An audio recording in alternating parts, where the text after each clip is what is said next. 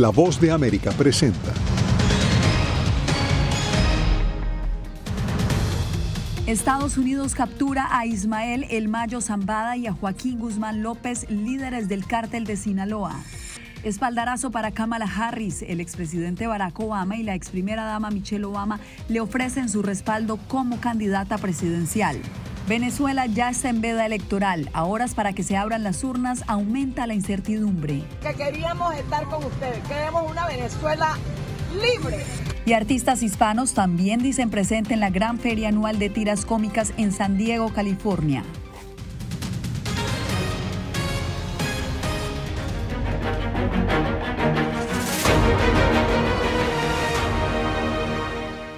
¿Qué tal? Esto es El Mundo del Día. Comenzamos con el duro golpe al cártel de Sinaloa que dio el gobierno estadounidense con la detención de Ismael alias El Mayo Zambada y Joaquín Guzmán López, hijo del Chapo Guzmán. Según el reporte de las autoridades, ambos fueron capturados en un aeropuerto privado de Nuevo México luego de que Guzmán le tendiera una trampa al cofundador del cártel de Sinaloa. Los pormenores los tiene César Contreras desde El Paso, Texas. El Departamento de Justicia de los Estados Unidos ha logrado la detención en Santa Teresa, Nuevo México, de dos de los máximos líderes del cártel de Sinaloa, Ismael El Mayo Zambada y Joaquín Guzmán López, hijo de Joaquín El Chapo Guzmán. Ambos hombres se enfrentan a múltiples cargos en Estados Unidos por liderar las operaciones criminales del cartel, incluidas sus mortales redes de fabricación y tráfico de fentanilo. El presidente Joe Biden elogió el trabajo de la operación y destacó que irán por más. Mi administración continuará haciendo todo lo posible para lograr que los traficantes de drogas mortales rindan cuentas y salvemos vidas estadounidenses. El operativo tuvo lugar en este pequeño aeropuerto del condado de Doña Ana, a unos 20 minutos del Paso, Texas y ubicado en medio del desierto, lo que facilitó el trabajo de las autoridades. No hay mucha gente donde corrieran el riesgo que si Mayo Zambada tenía un arma y comenzara a disparar, entonces era mucho más fácil para que ellos controlaran eso que un aeropuerto, por ejemplo, de Tucson o de Phoenix. Para el ex jefe de operaciones de la DEA, Mike Vigil, la hipótesis más factible es que Guzmán López habría traído a Zambada García con engaños a territorio estadounidense. Bueno, debajo de pretexto, yo creo que era de parte de Joaquín Guzmán López, que ah, le dijo que iban a inspectar pistas o iban a ir a un rancho a inspectar alguna cosa ahí. Y llegaron a, Santa Teresa. Se espera que el Mayo Zambada y Joaquín Guzmán López se enfrenten a un juez federal en las próximas horas para así continuar con su proceso ante la justicia estadounidense. César Contreras, Voz de América. El Paso, Texas. Y por su parte, el gobierno mexicano reveló este viernes que no participó en el operativo de captura de los dos capos del cártel de Sinaloa. Nos informa Miguel Ángel Boiso desde Ciudad de México. Esta operación, considerada un golpe al corazón del cártel de Sinaloa, ha sido liderada por la DEA y sin embargo, las autoridades mexicanas han manifestado que ellas no estuvieron involucradas. No, el gobierno de México no participó en esta eh, detención o entrega. Eh, esto no es así. Y pues vamos a seguir colaborando con el gobierno de Estados Unidos como lo hemos hecho hasta esta ocasión.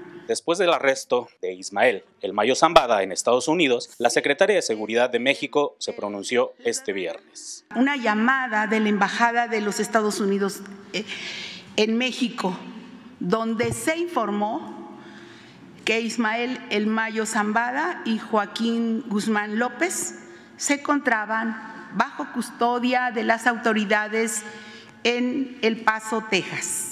Por su parte, el gobierno federal inició la movilización de la Marina y el Ejército al estado de Sinaloa, con la meta de evitar la violencia en el norte del país, mientras el Ejecutivo se muestra contento de la detención, aunque no se haya participado en ella.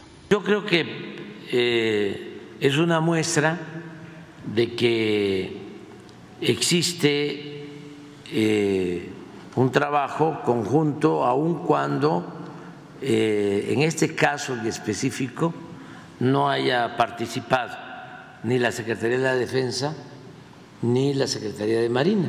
Miguel Ángel Boiso, Voz de América, México.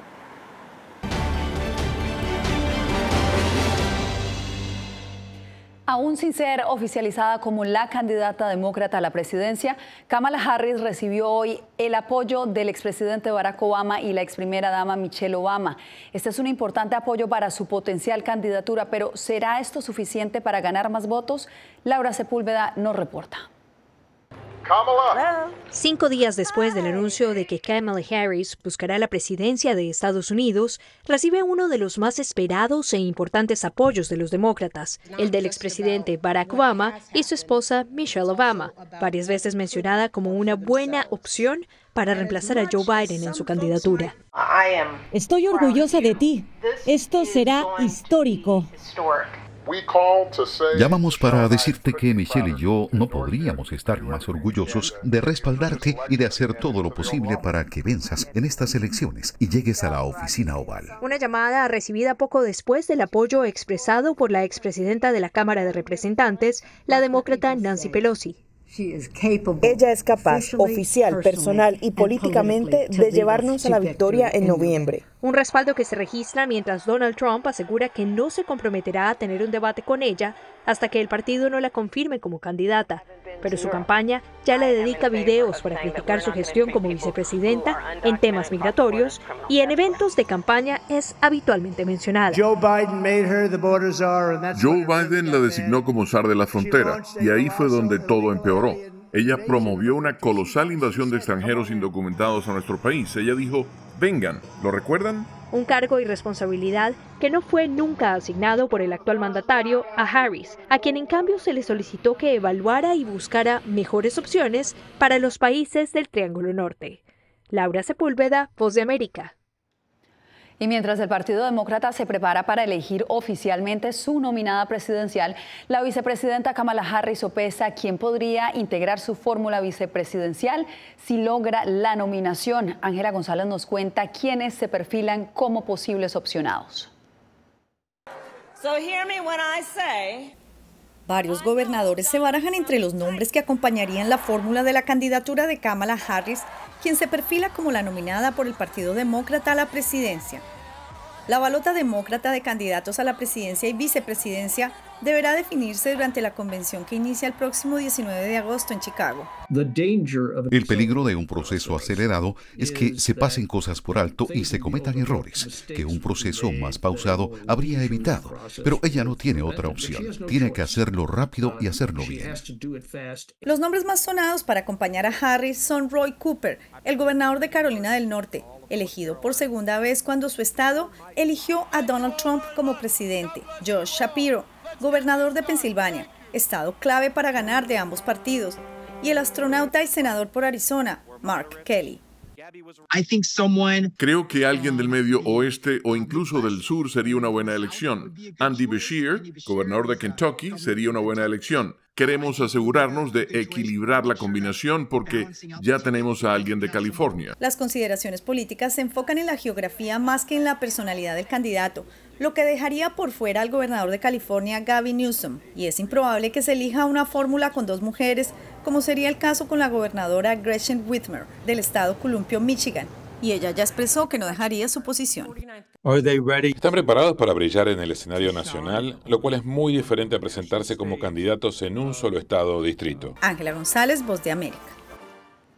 Y luego de reunirse con la vicepresidenta Harris y el presidente Joe Biden, este viernes el primer ministro de Israel, Benjamin Netanyahu, viajó a Mar-a-Lago, en Florida, donde se reunió con el candidato republicano Donald Trump. José Pernalete nos amplía desde Miami. Al recibir en su residencia Mar-a-Lago al primer ministro de Israel, Benjamin Netanyahu, el expresidente Donald Trump expresó preocupación por el estatus de las negociaciones entre el gobierno israelí y Hamas ante el cautiverio de los rehenes. Es una situación muy difícil la de los rehenes. Tienen que ser devueltos inmediatamente porque no hay forma de que estén en buenas condiciones y, obviamente, no están siendo tratados adecuadamente. Y uno espera que estén bien, pero hay muchos rehenes Estoy seguro de que eso no estará bien y esa no es una situación aceptable. El premier israelí dijo que como resultado de su visita a Estados Unidos, espera que exista un acuerdo que allane el cese de hostilidades en Medio Oriente.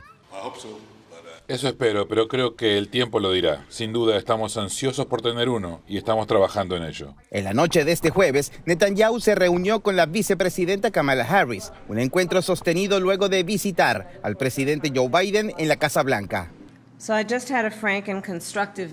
Acabo de tener una reunión franca y constructiva con el primer ministro Netanyahu.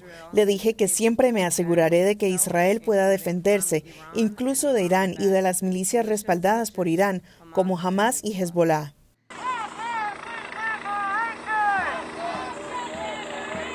En Palm Beach, manifestantes contra Trump, así como simpatizantes de la causa palestina, protestaron durante la visita de Netanyahu en Florida. José Pernalete, Voz de América, Miami.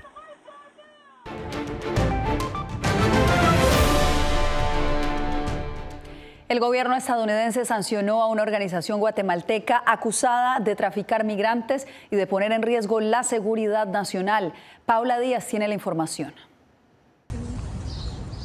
Estados Unidos sancionó este jueves a la organización guatemalteca López, dedicada al tráfico de migrantes, y prevé más arrestos y castigos contra otras bandas como parte del esfuerzo de la administración Biden para frenar la llegada irregular de personas a la frontera sur. Estas acciones que se anuncian hoy se suman a una serie de medidas que la Administración ha tomado en las últimas semanas para que rindan cuentas las organizaciones delictivas y su personal, incluyendo sanciones que se anunciaron contra un grupo de crimen organizado llamado Tren de Aragua, eh, que tiene origen en Venezuela, el Departamento del Tesoro indicó en un comunicado que redes como esa colocan las ganancias por encima de la vida humana, ponen en peligro la vida de los inmigrantes y socavan el sistema de asilo en Estados Unidos. La Organización de Tráfico Humano de López buscó contrabandear a miles de migrantes a Estados Unidos a través de una operación transnacional ilegal que explotaba a quienes buscaban una vida mejor para ellos y sus familias. Las sanciones se suman a otras anunciadas recientemente contra el Tren de Aragua, un grupo venezolano de contrabando y tráfico humano, y contra Abdul Karim Conte, un grupo transnacional de crimen organizado de México y Tijuana. Paula Díaz, Voz de América, Arizona. Vamos a París, donde solo horas antes de la apertura de los Juegos Olímpicos, múltiples rutas de trenes de alta velocidad fueron vandalizadas, lo que causó una interrupción masiva del tráfico. El operador ferroviario estatal informó que los pirómanos sabotearon el evento atacando instalaciones a lo largo de las líneas de, que conectan a París con ciudades como Lille en el norte y Burdeos en el oeste y Estrasburgo en el este. Durante horas, las autoridades instalaron a todos los viajeros a instaron a todos los viajeros a posponer sus viajes. Las reparaciones están en marcha, pero el tráfico estará brevemente afectado durante el fin de semana. Y usted no se mueva porque regresamos con noticias de las elecciones de Venezuela. Es retenido en Panamá el avión a bordo del que intentaban viajar varios expresidentes latinoamericanos. Somos un equipo, así que vamos. Estados Unidos a las 3. 1, 2, 3, Estados Unidos. En el mes de los Juegos Olímpicos, La Voz de América presenta los extraordinarios caminos que han recorrido cuatro integrantes para convertirse en entrenadores de equipos de los Estados Unidos para los Juegos de París 2024. Más allá de las banderas, una serie original de La Voz de América. En todas nuestras plataformas. Retroboa. Soy Salomé Ramírez. Soy Mixi Macías y te invitamos a que conversemos de los temas actuales que más te interesan. Acompáñanos en un podcast en vivo en las plataformas digitales de La Voz de América. ¿Qué me pongo mañana? Te regresas para el crucero. Todo incluido. Conéctate con nosotros a través de Retroboa en las plataformas digitales de La Voz de América.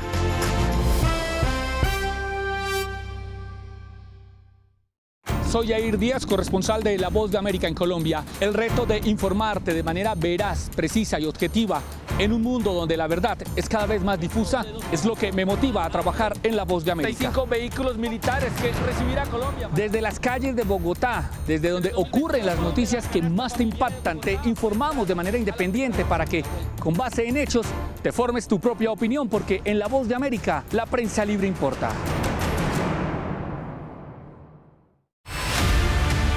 No concibo una democracia sin, sin periodistas. El libreto manda a un conflicto constante con la prensa independiente, con los medios de comunicación. Periodismo, la prensa libre importa, una coproducción de La Voz de América con nuestras afiliadas en la región. Se ejerció esta profesión con mucho eh, miedo. ¿Cuántos periodistas van muertos ya? Por decir la verdad. Disponible en vozdeamerica.com.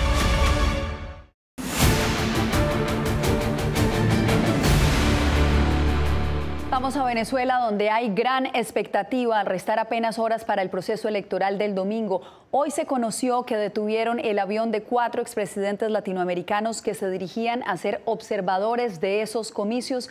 Adriana Núñez Rabascal, en directo desde Caracas, ¿cuál es la situación?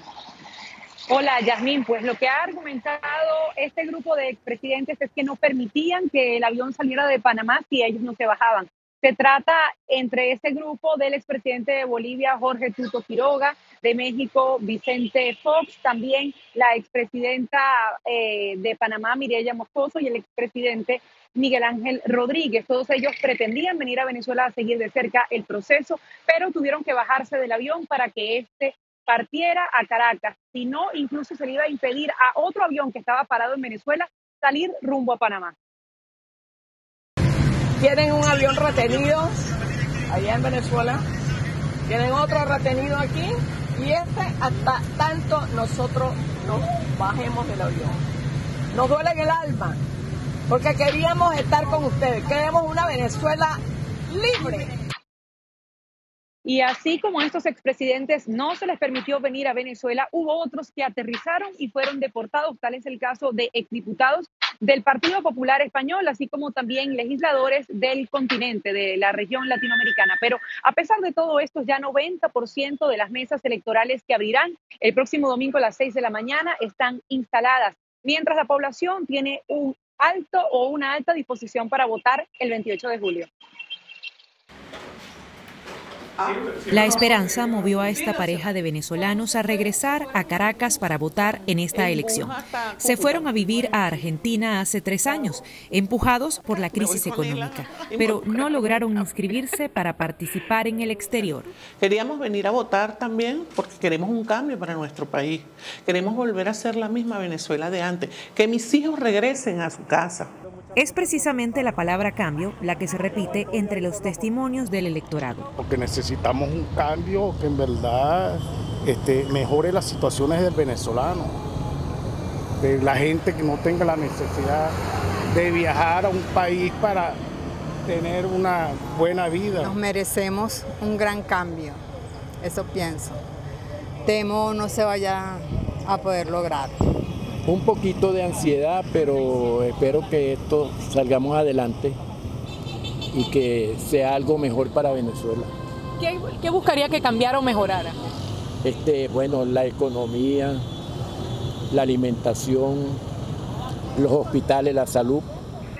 Para otros, la contienda del domingo es una lucha entre dos modelos políticos opuestos. Pasamos hambre y sobrevivimos. La oposición no nos garantiza nada de eso porque no tiene proyecto de gobierno. Solo Nicolás es el que garantiza la paz. Es tan crucial la elección para algunos que un 20% de la población evaluaría emigrar dependiendo del resultado, según la firma ORC Consultores. Será el reporte de Adriana Núñez Rabascal en Caracas, Venezuela. Y ahora vamos a Colombia, la nación con mayor población migrante venezolana del mundo. Allí viven 2,8 millones de venezolanos, pero apenas 7 mil están habilitados para sufragar. Jair Díaz entrevistó a algunos de ellos que volveríamos todos a reunir aquellos domingos de hervido, de, de compartir aquellos diciembre han sido muchos. Keila Rodríguez es una venezolana que emigró a Colombia en 2021 y con ilusión señala que volvería a su país si el presidente candidato Nicolás Maduro sale del poder. Ir a Venezuela, poder salir, poder ir a trabajar, poder volver a regresar. Ella hace parte de los más de 2,8 millones de venezolanos que residen en Colombia según el gobierno, siendo esta la nación del mundo que más alberga migrantes venezolanos pero solo 7.010 están habilitados para votar el próximo domingo debido a una cantidad inusualmente alta de requisitos. Es bien complicada ya que El gobierno de Nicolás Maduro siempre ha hecho, ha hecho lo que sea para mantenerse en el poder. Los migrantes venezolanos perciben que el futuro político de su país está en juego. La jornada electoral podría extender el mandato de Nicolás Maduro por seis años más, sumando un total de 17 años en el poder, o poner fin a la era del chavismo. Están nerviosos de que este año sí va a caer el gobierno de Venezuela. Este es el Colegio Palermo, que es el centro de votación de los 4.000 ciudadanos venezolanos que están inscritos aquí en la capital de Colombia para ejercer su derecho al voto el próximo domingo. Jair Díaz, Voz de América, Bogotá. Al volver, nuevas denuncias de represión en Nicaragua. Familiares de exiliados aseguran que no pueden salir del país. Tenemos los pormenores.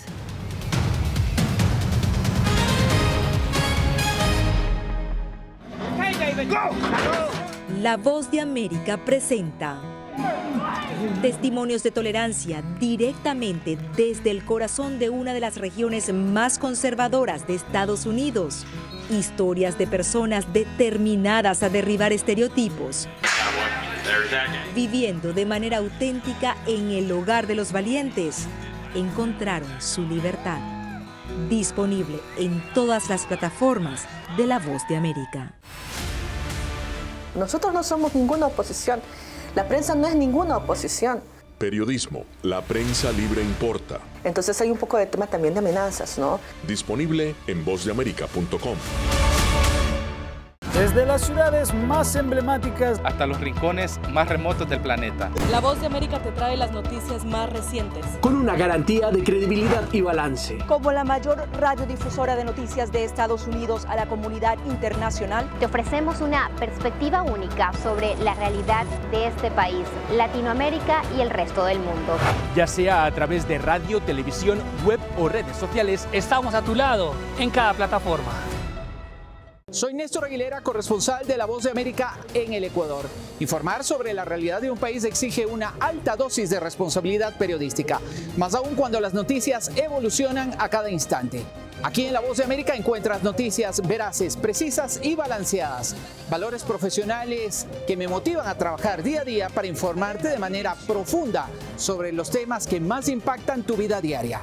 Porque en La Voz de América, la prensa libre importa el periodismo definitivamente necesita ser libre. Periodismo, la prensa libre importa. Una producción especial de La Voz de América. La libertad se la da el Estado y la responsabilidad la asume uno. Disponible en vozdeamerica.com.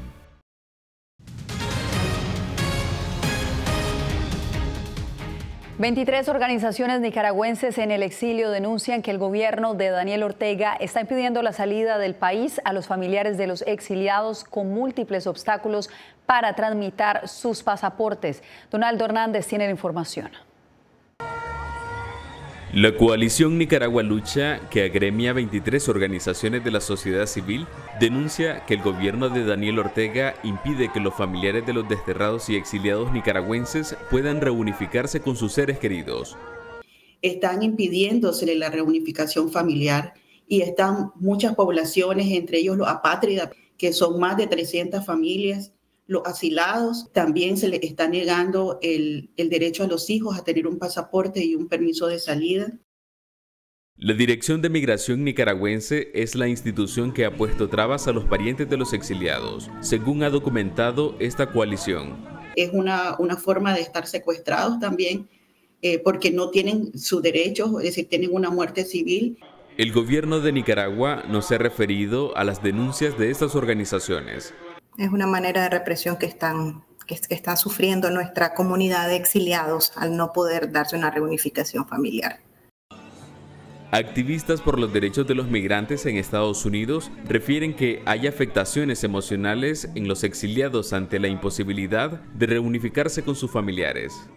Padres y madres nos han expresado que están aquí desde hace ya 3, 4, 5 años Tal vez algunos ya tienen su proceso de asilo aprobado y el siguiente paso para ellos es reunificar a su familia. Eh, sin embargo, no han podido hacerlo. Según Naciones Unidas, en el marco de la crisis política, más de 600.000 nicaragüenses han salido de su país, lo que representa el 10% de la población. Donaldo Hernández, Voz de América. Después de dos años de pandemia y un año de huelgas en Hollywood, regresa la feria Comic Con a San Diego, California. Este año los latinos también son protagonistas.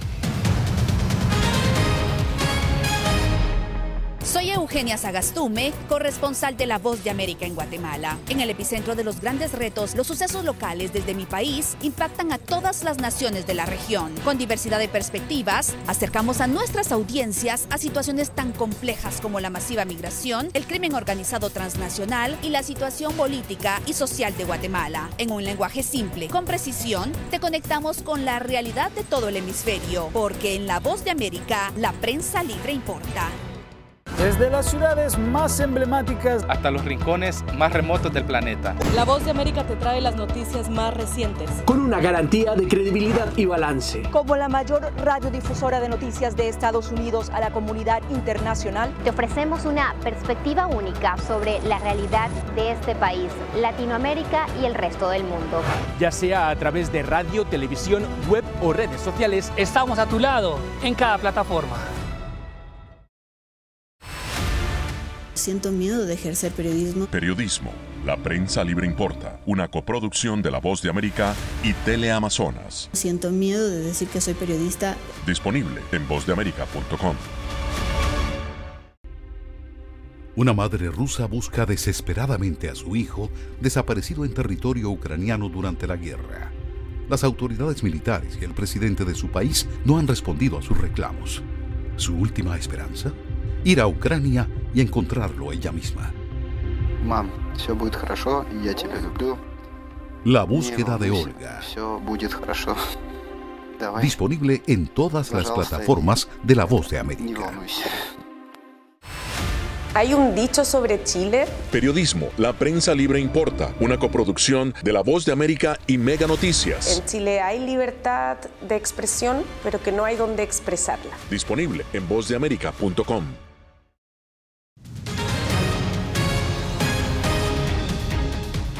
Artistas latinos se abren camino en la Feria Internacional Comic Con. Alex Segura conversó con algunos de ellos en San Diego, California, sede de este enorme encuentro anual. Hablar del cómic latino en Estados Unidos es sinónimo de los bros Hernández, Jaime y Beto, que fueron incluidos en 2017 en el Salón de la Fama de la Historia del Cómic. Pero hay otros artistas latinos que están empezando a abrir su camino. Desde hace unos años, Pablo Villalobos ha conseguido dibujar portadas de cómics para dos grandes editoriales, Marvel y DC Comics. Hasta hace poco no se creía capaz de conseguirlo. Yo, yo antes yo no lo creía, pero ya viviéndolo yo mismo, es algo importante. Si lo que sí es algo que sí, pues uno puede ser, uh, make a living out of it, ¿verdad? Sus dibujos, mayoritariamente de superheroínas, han cautivado la atención de cientos de asistentes a la feria Comic Con. Cuando hizo los, los de, de, DC un poco más nuevos, como el de Power Girl, y está haciendo también los de Zartana, esos, esos dos me gustan mucho y me gusta cómo él los, los dibujó. Lobos describe la magia de los cómics. Los cómics me ayudan a mí mucho uh, cuando estaba más joven a tener algo en común con otra gente de diferente cultura. ¿verdad? Es algo que podemos tener en común.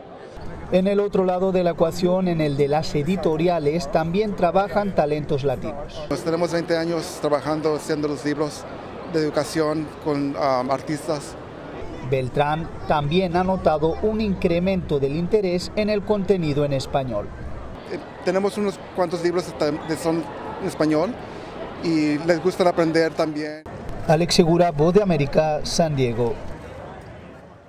Hace escasas horas inició la ceremonia de apertura de los Juegos Olímpicos de París, después de un comienzo difícil con presuntos actos de sabotaje contra la red ferroviaria más importante de Francia y el mal tiempo también dejó cielos lluviosos y grises. Los atletas desfilaron este viernes en botes y navegaron sobre el río Sena desde el Jardín de las Plantas hasta la icónica Torre Eiffel. El fútbol y el rugby fueron los primeros en dar inicio a las competencias, pero a partir de hoy, viernes, empiezan oficialmente los Juegos Olímpicos París 2024. De esta manera cerramos el mundo al día. Gracias por acompañarnos. Los espero el lunes.